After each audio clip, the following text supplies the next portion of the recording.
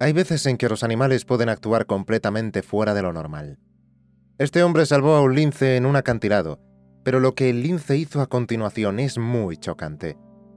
Cristina levantó la vista, pero solo consiguió ver un pequeño trozo de azul por encima del barro que le cubría la cara. El polvo empezaba a sentarse y vio un pájaro que volaba alto. Se aferró a esa visión. Un líquido caliente le recorrió el cuello y un dolor agudo y punzante le atravesó la cabeza. Le pesaba el pecho. No podía mover los brazos. Cristina sabía que iba a morir allí, pero al menos era en el lugar que más amaba. Había pasado años en este bosque tratando de hacerlo seguro, pero aún más, era el único lugar donde se sentía en paz. Incluso ahora, sabiendo que estaba llegando a sus últimos alientos, estaba tranquila. Había habido tantos buenos momentos en este bosque que no le importaba perder la vida allí. Había lugares mucho peores para perder la vida, y Cristina había estado en unos cuantos. Como veterano, había creído que iba a perder la vida mucho antes que ahora.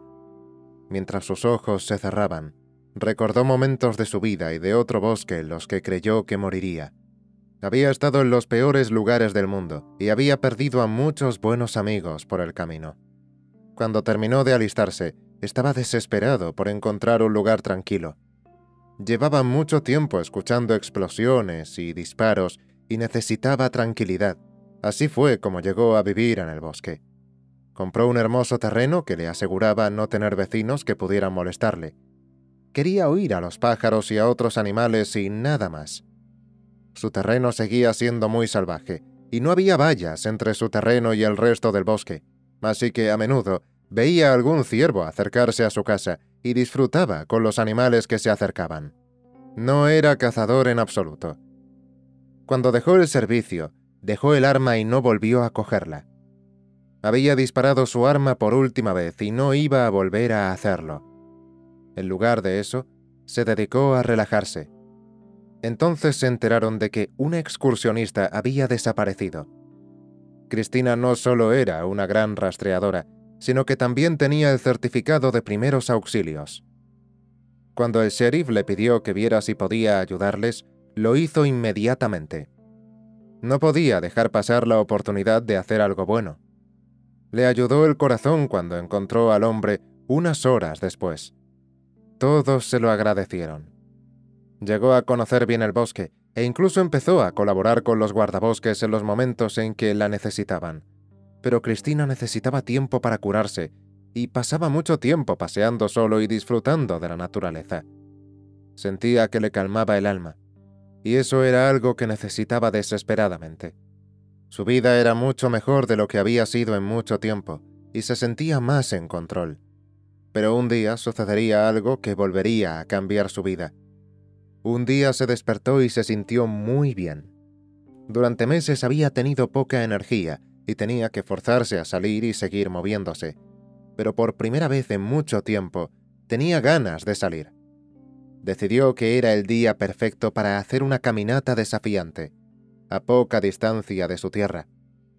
Había querido hacerlo desde que se mudó allí, pero tenía miedo de que fuera demasiado difícil. Pero hoy era el día. Tenía energía de sobra. Había preparado una mochila con todo lo necesario. Aunque hubiera planeado volver a casa al anochecer, siempre estaba preparado para todo. Nunca se iba de excursión sin provisiones para al menos dos días. Sorprendentemente, esto no se lo enseñó al servicio militar, sino que lo aprendió por las malas cuando era un adolescente. Su familia pasaba mucho tiempo al aire libre y él iba de excursión a menudo. Pero un día le sorprendió una tormenta repentina y tuvo que ponerse a cubierto y esperar a que pasara. Cuando llegó a casa a la mañana siguiente, se moría de hambre y se prometió que siempre tendría comida y agua para varios días. Eso le sería útil muy pronto. Cuando empezó a subir la montaña, sintió que se relajaba. Era libre, una sensación maravillosa. Había caminado durante un rato, pero entonces vio algo en un acantilado. Su corazón se desplomó. El amante de los animales que había en él estaba aterrorizado. Normalmente le encantaría ver un hermoso lince en un acantilado. No los veía con facilidad, y era aún menos probable durante el día. Normalmente eran un espectáculo magnífico, pero esta vez no. Esta vez daba miedo. La despampanante lince estaba colgando del acantilado, colgaba por el borde, aferrándose solo a unas raíces de árbol que salían del suelo. No tenía dónde agarrarse mejor. El océano estaba justo debajo de ellos, pero no amortiguaría su caída. Incluso si aterrizaban en el agua, ella podría resultar gravemente herida o aturdida por el frío, y ese era el mejor de los casos. Justo contra el acantilado había muchas rocas en el agua, así que era más probable que una caída fuera fatal. Cristina sabía que tenía que hacer algo. Corrió más cerca, pero aminoró la marcha a medida que se acercaba. Lo último que quería era asustar al lince, provocando su caída. No estaba del todo segura de lo que iba a hacer, pero tenía que hacer algo. El lince podría morderle si intentaba alcanzarla, pero tenía que salvarla. Sabía que su salud mental sufriría un duro golpe si fracasaba, y aquel hermoso animal merecía una oportunidad de luchar. Decidió usar su mochila como escalera y se la tendió. Esperaba que entendiera que quería que se subiera a ella. Ella miró la mochila, y él no estaba seguro de si funcionaría. ¿La estaba asustando? Contuvo la respiración y, de repente, ella estiró una pata y se aferró a la bolsa. Pero cuando intentó alcanzarla con la otra pata delantera, ocurrió algo horrible. No podía tirar de ella. Su pata estaba atascada en las raíces del árbol. No iba a soltarse, al menos no por sí sola. Se echó hacia atrás y emitió un gemido de esos que te atraviesan el alma. Cristina no sabía que un lince llegaba a hacer ese tipo de ruido. Era derrota y tristeza absolutas. Pero Cristina no se rendía todavía. Estaba dispuesta a arriesgar su vida y sus miembros para salvar al lince. Muy literalmente. Llevaba guantes en la maleta por si hacía algo de escalada, pero no le iban a dar mucha protección, ya que los dedos estaban abiertos para ayudar al agarre. También se puso la chaqueta para protegerse un poco el brazo. Era hora de prepararse. Cogió una cuerda que llevaba en la mochila, se la ató a la cintura y se tumbó boca abajo en el borde. Si el lince se asustaba, podía arañarle o morderle. Pero a Cristina no le importaba. Era su única oportunidad. Se tumbó boca abajo y se acercó a ella. El lince lo miró con esos grandes ojos de gato y sintió como si estuviera suplicando ayuda. Él se la daría. Se acercó a ella y la observó, pero el lince no se movía. Ató el otro extremo de la cuerda alrededor de los eslabones del lince. Su cara estaba cerca de la de ella y ella podría morderle fácilmente, pero no lo hizo. Quería asegurarse de que estaba bien sujeta. Si ella retrocedía demasiado, él no iba a acercarse tanto solo para verla caer. Después de atarla, le tocó suavemente la pata para que se acostumbrara a él. Cuando no se inmutó ni reaccionó, Cristina tiró de su pata y la soltó suavemente de las raíces del árbol. Era libre. Retrocedió y la ayudó a salir tirando de la cuerda y ayudándola suavemente. Finalmente, volvió a pisar tierra firme, pero se quedó tumbada, completamente agotada. Las celebraciones tuvieron que esperar. Estaba muy débil. Cristina tiró de la cuerda que la rodeaba y cogió su bolsa. Tenía muchas provisiones para compartir con el lince. No parecía herida, pero no se movía. ¿Quién sabe cuánto tiempo llevaba allí? Utilizó su taza para verter agua para el lince y ella bebió profundamente. Luego sacó algo de comida y se la dio al lince. Parecía gustarle la cecina y sacó unos cuantos paquetes más para dárselos. Ella comió hambrienta y lentamente comenzó a levantarse. Estaba lista para irse. Se alejó y luego se detuvo. Miró a Cristina como dándole las gracias. Luego se dio la vuelta y echó a correr hacia el bosque. Cristina se sintió bien aquel día. Ayudar a aquel animal fue increíble y también le ayudó mucho. Le dio un nuevo rumbo a su vida. Cuando le dieron la oportunidad de convertirse en guarda forestal a tiempo completo, alguien que pudiera ayudar a los animales del bosque, la aprovechó. Su vida tenía una nueva dirección y un nuevo significado.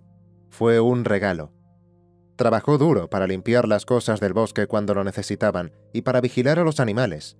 Incluso ayudaba a rastrear a los excursionistas cuando se perdían. Podía ayudar a la gente y a los animales, y por primera vez en muchos años Estaba contento. Qué cruel sería perderlo todo cuando por fin era feliz. Llevaba unos años como guardabosques cuando ocurrió algo que volvería a tener un gran impacto en su vida. Una terrible tormenta había pasado por la zona, y había muchos daños en las casas y en el bosque. Las cámaras de rastreo de la zona quedaron destruidas y tuvieron que repararlas, pero lo más importante es que algunos animales resultaron heridos y hubo que rescatarlos y rehabilitarlos. Fueron unas semanas muy ajetreadas. Cristina y sus colegas retiraron grandes árboles caídos en el bosque y ayudaron en todo lo que pudieron. No daban abasto y tuvieron que repartirse todo lo posible. Así fue como Cristina acabó trabajando por su cuenta en otro lado de la montaña. Había cajas para búhos que había que arreglar.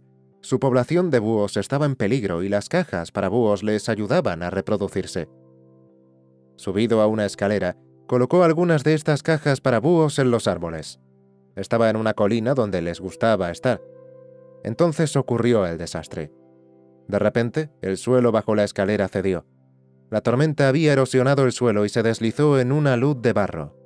Ocurrió tan de repente que Cristina no tuvo tiempo de agarrarse a nada. Simplemente cayó con fuerza. Sintió que el dolor le recorría el cuerpo al golpearse contra el suelo pero antes de que pudiera recobrar el sentido, estaba siendo arrastrada por el barro. Era el peor lugar en el que podía haber estado.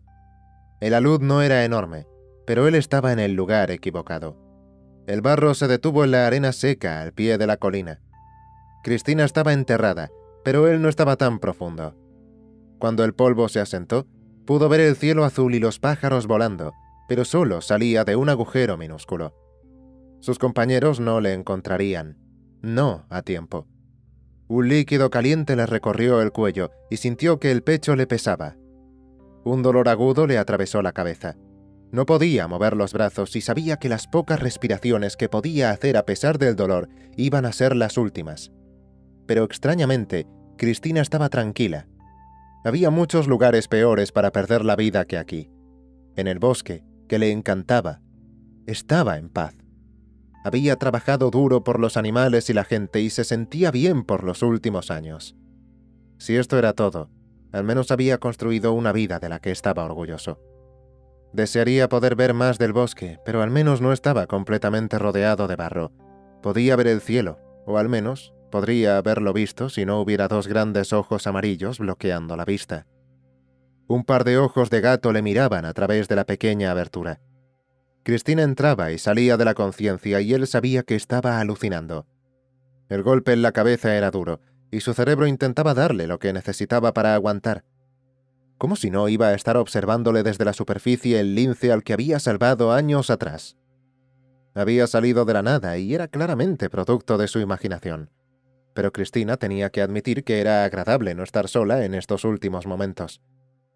Cuando todo volvió a oscurecerse, no vio que el lince empezaba a escarbar a su alrededor.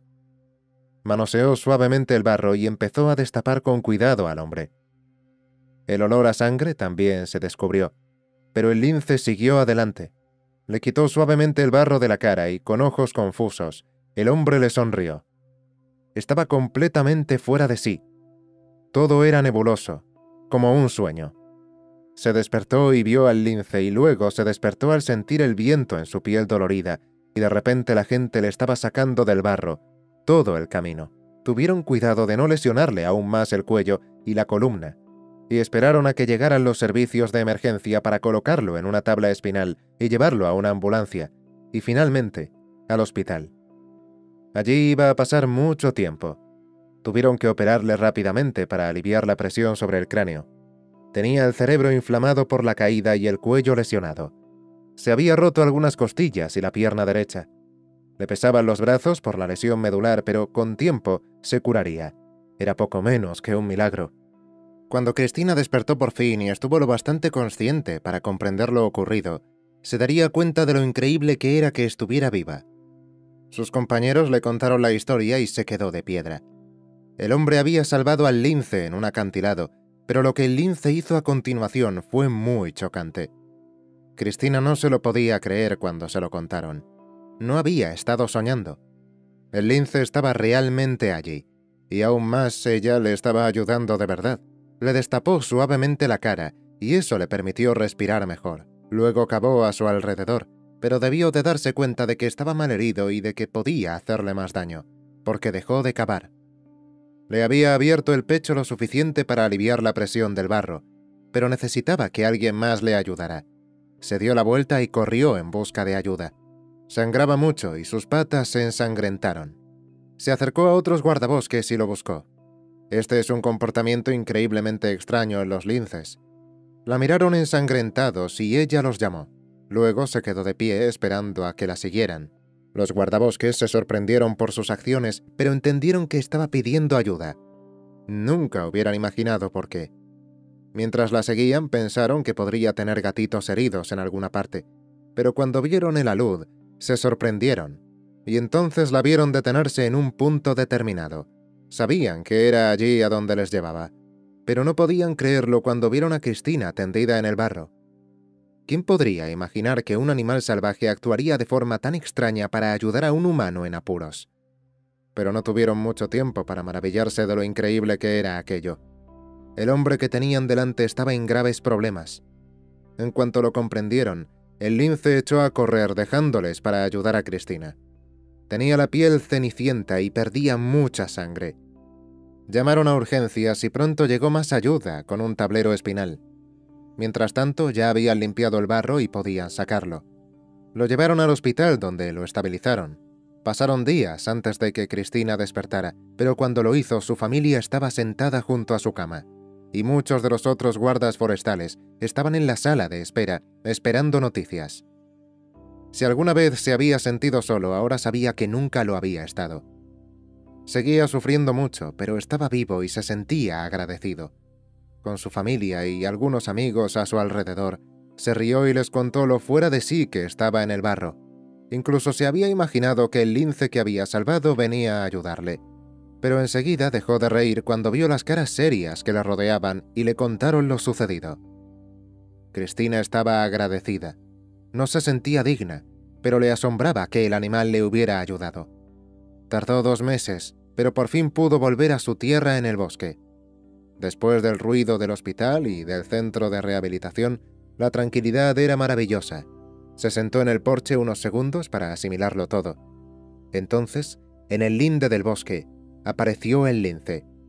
Él no sabía cómo ella sabía que él estaba en casa, probablemente de la misma manera que ella sabía que él estaba en problemas. Pero de cualquier manera ella estaba allí. Quería ver por sí misma si estaba vivo y bien. Se miraron a los ojos y Cristina susurró. Gracias. Luego volvió corriendo al bosque. Se habían salvado mutuamente y ahora ambos tenían mucha más vida por delante. ¿Arriesgarías todo por un animal salvaje? Gracias por vernos. Vuelve con nosotros para conocer más historias increíbles.